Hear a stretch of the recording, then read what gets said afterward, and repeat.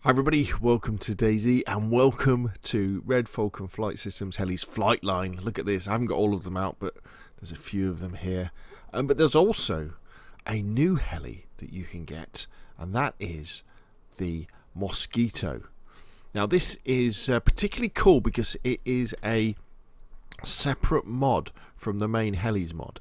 So it's a great way to add this fantastic looking kind of almost DIY little uh, single person open cockpit helicopter to your server. And in this video, I'm going to show you not how to install it. I've already done that. I'll put a link to my install video in the description below this, this video, but how to fix them. And uh, I tell you what, why don't we look at how to fly them as well?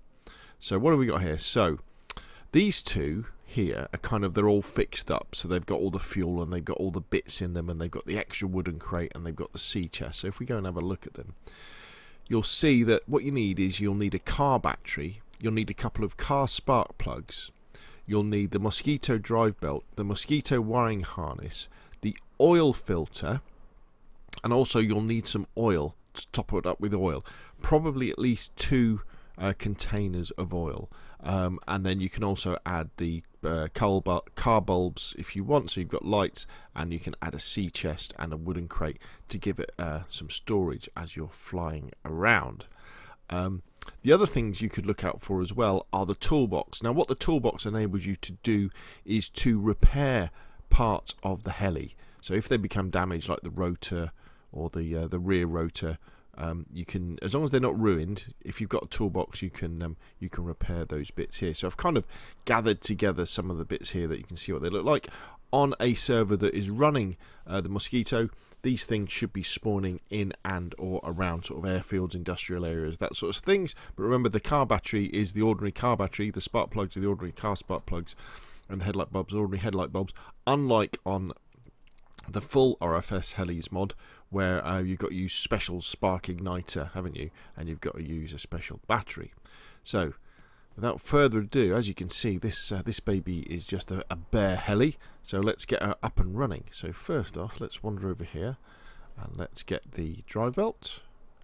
Let's get an oil filter. Let's get a wiring harness. Let's get a couple of spark plugs and let's pick up the battery. We'll put it in our hands. Let's wander over here. Dum da dum da dum da dum da dum. Oop. Go in the inventory. So car battery goes in there. Spark plug goes in there. That spark plug goes in there. Scroll down a bit. Drive belt will go there. Wiring harness will go there. Oil filter will go there. We won't bother with the bulb.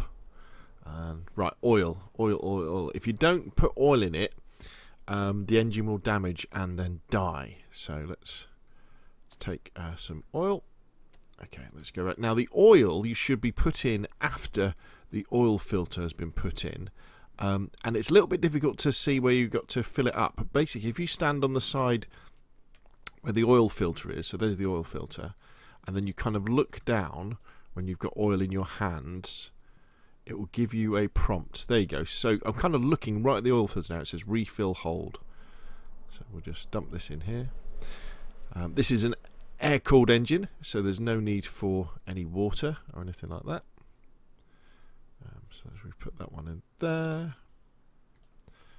Uh, let's fill that one up there as well. Dumpty dumpty dumpty dumpty dum. And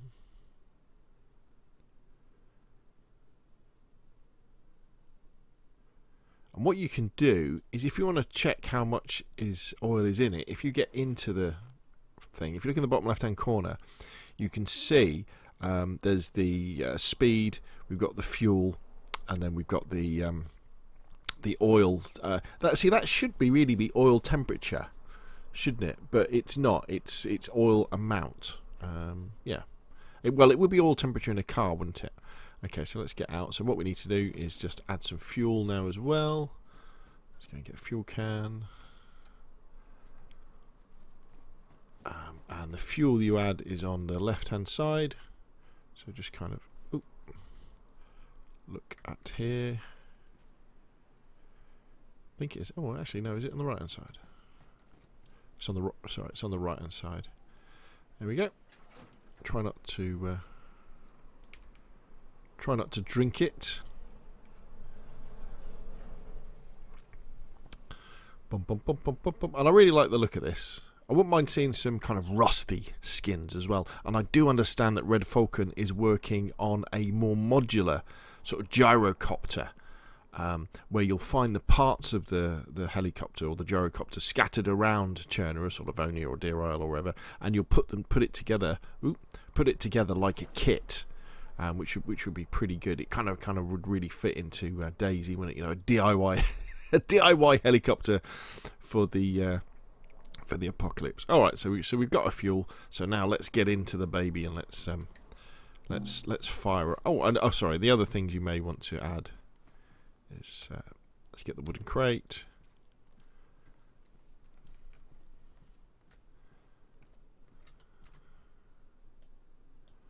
And then you could add the uh, sea chest as well if you had one. Right, let's get in. So, they are a little bit tricky to fly, uh, the helicopters, as you would expect. Um, but once you get used to them, um, they're, they're, they're fairly easy, I think. The important thing to always bear in mind with Red Falcons helicopters, it's for me, it's all about momentum and real knowing how much momentum you've got in a particular direction and really just making sure that you're not gaining too much momentum in a particular direction um, um, and keeping an eye on your altitude and importantly your rate of descent. All right, but I'll show you what I mean. Now, the audio might it might get start getting a little bit difficult to hear me in a minute when I fire up the engine, but let's let's start her up by left clicking on the mouse. You've got to wait for it to get up to speed. Now, we control how fast we go up and how fast we go down with the collective, which is that bar to the right of our altitude alt altimeter. Um, and when we get up to speed, I can use my mouse wheel to roll that up. And the centre line is kind of is the neutral position if the airplane is in, is in a neutral plane. So I'm rolling it up now. What you'll see is we're kind of not really going anywhere yet because we're in a neutral position. But if we start taking that up a little bit, you see we start going up slowly. And if we put it back to a neutral position, we'll start doing that. Now we want to get a little bit of altitude want to practice it. And we're going a little bit backwards. So you just want to tip forward a little bit with W. Basically, you know, forward and back is just um, W and S. And then you, you can kind of uh, go left and right with A and D. And then to swing your tail rotor around, um, what you do, you can either be flying forward like this, so you tip forward to fly forward, plenty of collective there to speed up. And then you can just tip the aeroplane and it will slowly turn or you can use Q and E to use a bit of tail rotor to kind of turn.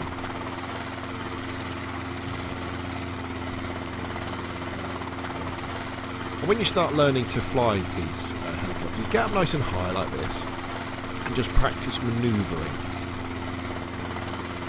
And just keep an eye on your altimeter and look. You, what you're looking to see just make sure you're not coming down too. Doesn't really matter how, far, how high you go. You don't want be down too fast. Okay, so we're up nice and high, so let's say we want to start moving forward, dead easy. All we do is we just tip the nose forward by hitting W, and then start gaining momentum to go forward. But if we haven't got enough collectors, we will start to lose height fairly rapidly as well, so keep an eye on your height. And you can tip forward quite a lot. You don't want to keep going in height, just drop your collective. But when you drop your collective with your mouse wheel, again keep an eye on your rate of descent. Make sure you're not dropping down too fast.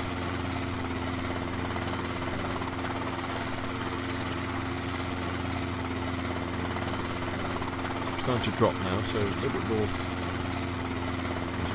So let's just take a nice slow turn. And you just want to avoid extreme movements and just keep that momentum nice and simple.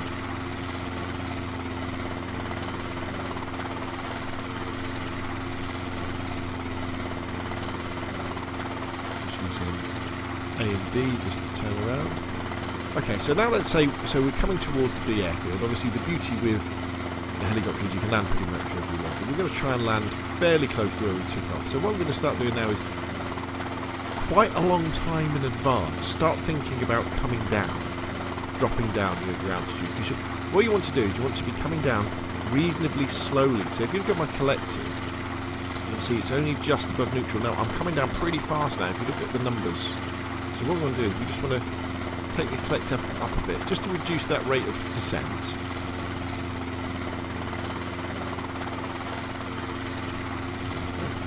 So we're really slowing our of descent. Now we can tip this the helicopter back a little bit so it doesn't go forward quite as much. But we're going up again now, so we can take the collective down again. We're kind of round about where we want to be in terms of landing. So we're in a negative collective situation, so we're going to start coming down. As soon as it starts going a little bit fast, just put the collective up into a positive position, just to slow the rate of descent.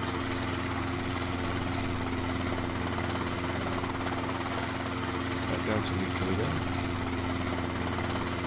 Coming down nice and slow. And then when you get when you hit the ground, bang that collective right down so you get the take off again. And left click, stop that engine. Bang. Okay. Lovely jumping, absolutely fantastic, nice and easy. And there, my friends, there is the uh, new Mosquito from Red Falcon.